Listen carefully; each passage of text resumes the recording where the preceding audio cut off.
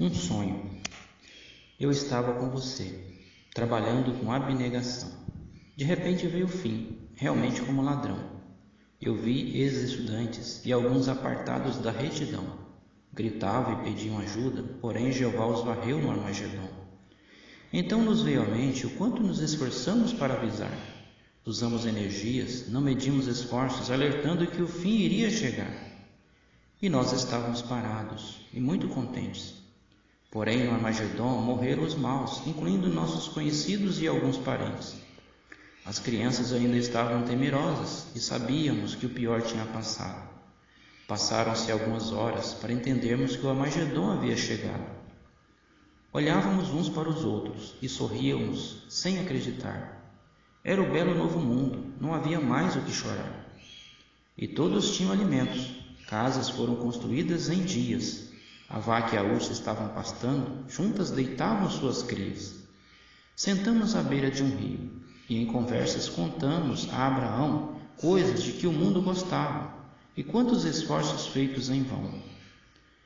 Explicamos a Davi sobre o sistema passado e lá estava Abel, a ressurreição havia findado. Que bom conversar com Moisés e contar como foi o serviço de tempo integral que ainda desfrutávamos as bênçãos de um privilégio tão especial. Noé não se admirou do tempo em que oposição tivemos de enfrentar. Trocávamos experiências sobre um período em que pessoas costumavam nos maltratar. Jacó emocionou-se ao entender quanto sofrimento viemos a enfrentar. O irmão que contava era surdo e agora podia ouvir, podia falar. Uma pioneira observava o belo cenário e com lágrimas podia contemplar. Sua estudante, que fora manca, agora podia saltitar. Um grupo explicava por que faltavam alguns. Ali estava Raquel, Sara e Benjamim. A ambição do mundo sufocou. Não perseveraram até o fim. E Ló narrava longas histórias de como Sodoma não valia nada.